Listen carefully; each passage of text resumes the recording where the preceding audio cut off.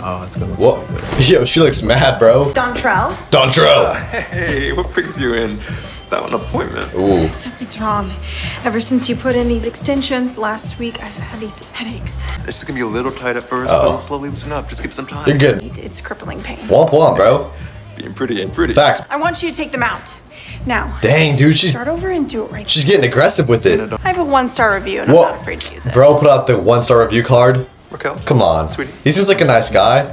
Why don't you try, uh... You, you don't gotta do all this, bro. Come on. Have a seat.